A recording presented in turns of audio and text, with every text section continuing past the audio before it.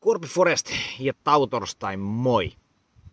Sellainen asia tänään pyörinyt tuosta kuormituksesta mielessä kuin se, että, että miten paljon nämä ajatukset ja, ja, ja sitä kautta mahdolliset tunteet kuormittaa meitä.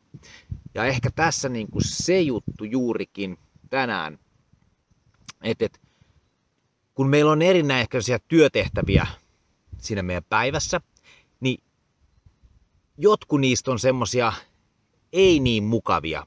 Ja, ja jos sä et tee niitä sen sun työpäivän niin kuin alussa, niin se pyörii se ajatus herkästi siellä, että mun pitäisi tehdä, mun pitäisi tehdä se ja, ja, ja ehkä jopa ahdistus siitä, niin se on aika kuormittava, sit niin kun se pitkin päivää siellä junnaa.